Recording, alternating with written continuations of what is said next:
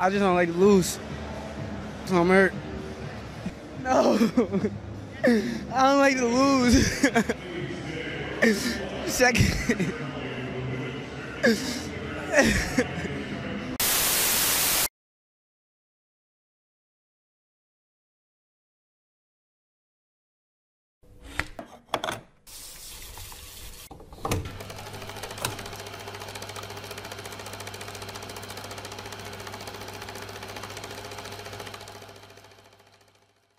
I seen you somewhere and you was like, I would never fight Shakur. That ain't really my thing, and I got mad respect for Jay Prince. I am not there to f- your money. So Shakur Stevenson, we won't ever lace up a pair of gloves. I don't care what they try to do.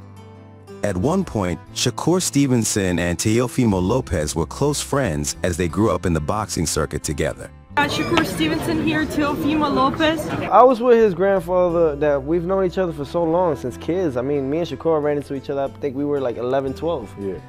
But later on, everything changed and they started to go at each other and calling each other out. You know, Shakur is a very talented, skillful, technique fighter. Yeah. You know, can't take anything away from it. However, scared to get hit. Scared to get knocked out in front of the world. Scared to get touched up in front of the world. So a two division champ already in a very young age. Three division on the way soon. Three division on the way they talk about. They talk about me fighting Teo, so three division on the way soon. You know, it's up to him and what they do. You know, if he couldn't finish the guy tonight, you know, that's up, that's on him. You know, I can't say nothing about it. They said I, I was fighting a nobody, but, you know, he fought a nobody and couldn't finish the job. Teofimo Lopez. Another easy fight.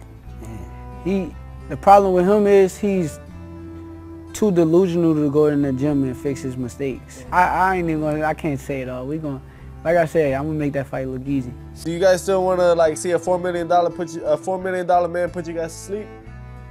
For what? Oh, you know what you're talking about, right? Of course, I'm talking about Shakur. Uh, Teofimo a hell of a fighter, but at the end of the day, I'm not scared. Like I, I'm with all that shit too. I'm gonna tell you something interesting about you. and he know that. General, me and Shakur sparred before. We did three rounds, and it was just light work and, and me trying to figure out his jab. Does he have a good jab? Yeah, he does. But once you pass it, once you pass his jab, it's game. Yeah. It's food. It's lunch food. Mm.